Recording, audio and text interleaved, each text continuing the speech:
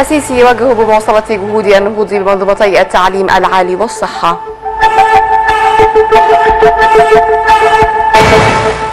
مدبولي يؤكد من بيروت أن مصر ستظل داعمة للبنان ووحدته.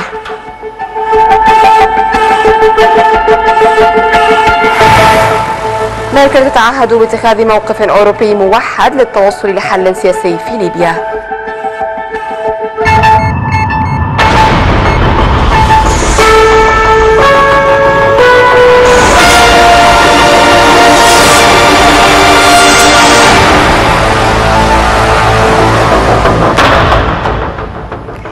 منتصف ليل القاهرة العاشرة بتوقيت جريتش موجز إخباري. يأتيكم من القاهرة. أهلا بكم. وجه الرئيس عبد الفتاح السيسي بمواصلة جهود النهوض بمنظومتي التعليم العالي والصحة في مصر باعتبارها مقدمة أولويات الحكومة وذلك بهدف دعم وتطوير الخدمات المقدمة للمواطنين.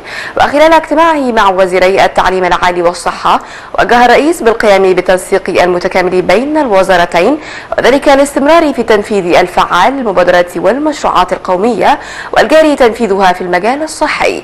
كما وجه الرئيس بأن تراعي جهود تطوير المنظومة التعليمية متطلبات العصر والثورة الصناعية الرابعة والتكنولوجيا البازغة. مشيرا إلى الأهمية القصوى التي توليها الدولة لتطوير التعليم بالشقي قبل الجامعي والجامعي والارتقاء بمستوى البحث العلمي في مصر. ومشددا على أهمية الدور المجتمعي في دعم منظومة التطوير والتي تهدف لبناء نظام تعليمي مصري حديث ومتطور أكد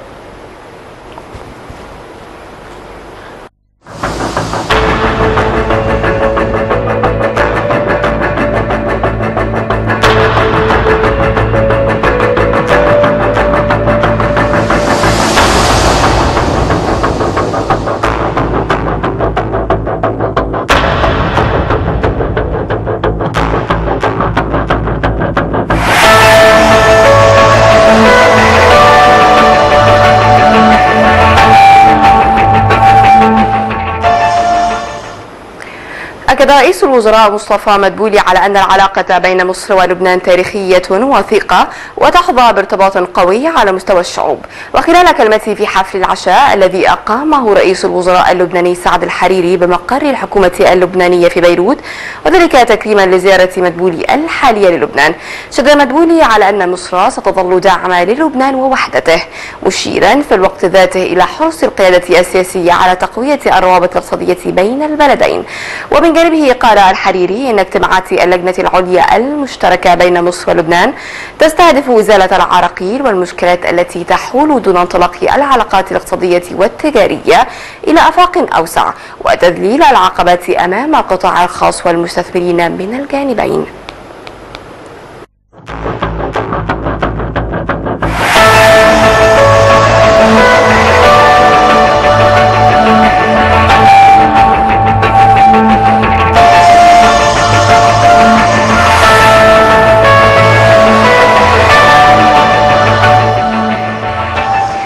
شاركت الدكتورة رانيا المشاط وزيرة السياحة في الجلسة الافتتاحية لمنتدى السياحة العالمي بمدينة لوزيرن بسويسرا والتي عقدت تحت عنوان الابتكار الخلاق دافع مستمر للتغيير. وبحسب بيان الوزارة فقد شاركت وزيرة السياحة أيضا في جلسة نقاشية مغلقة في مركز أبحاث المنتدى وذلك حول دور الابتكار والتحول الرقمي في صناعة السياحة. وذلك ضمن مجموعة مختارة من المستثمرين وصناع القرار السياحي في العالم.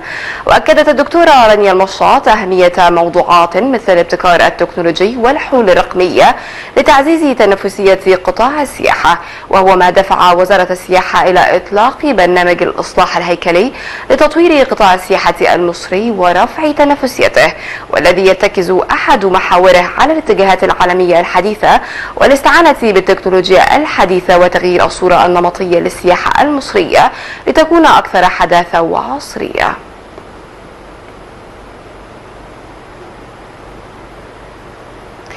وجه النائب العام المكلف في السودان باستجواب الرئيس السابق عمر البشير وتتعلق القضية المقرر استجواب البشير فيها مخالفة قانون غسل الأموال وتمويل الإرهاب وقانون التعامل بالنقد الأجنبي. كما أمر بالتحقيق في معاملات مشبوهة لنافذين في النظام السابق تمت إحالة الملفات إلى نيابتي الثراء الحرام والمشبوه ونيابة مكافحة الفساد والتحقيقات المالية.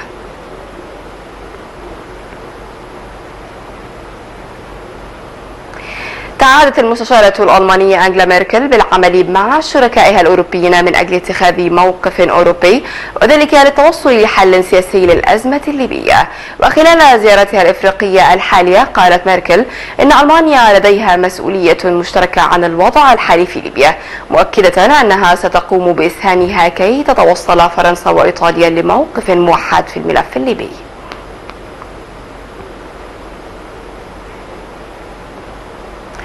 أعلن مسؤول أمريكي عن عقد اجتماع الأسبوع المقبل بين وزيري الخارجية الأمريكي والروسي في فنلندا وذلك لبحث الأزمة الفنزويلية. فيما قال وزير الخارجية الروسي سيرجي لافروف إن تصريحات الولايات المتحدة بشأن إقناع روسيا لمادورو بالعدول عن فكرة الهروب من فنزويلا غير صحيحة مشيرا إلى أن مواقف روسيا بشأن فنزويلا تتعارض مع مواقف الولايات المتحدة.